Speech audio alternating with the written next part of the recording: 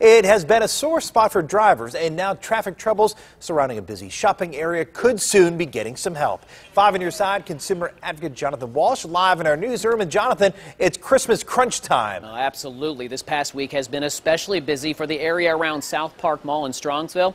Now, we uncovered some interesting details about I-71 and Route 82 as the city is hoping to take the Grinch out of holiday traffic and more.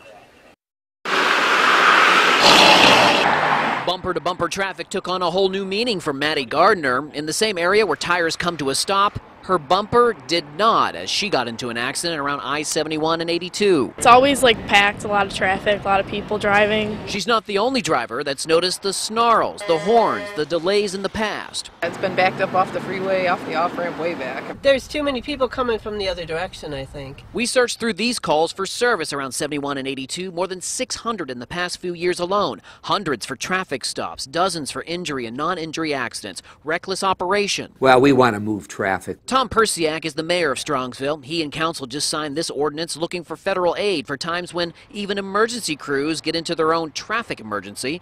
The idea is to widen the on-ramp of 71 North to accommodate two lanes to keep people moving and not in a sea of brake lights. Sometimes not only one lane, two lanes, three lanes, trying to merge into one and that really creates issues. Drivers who were stopped say that's a good idea, including Gardner, who doesn't want another incident like this. It'd be safer if there was like not as much traffic.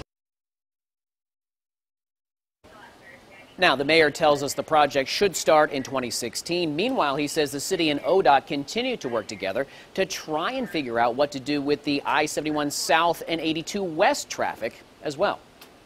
I'm 5 on your side consumer advocate Jonathan Walsh.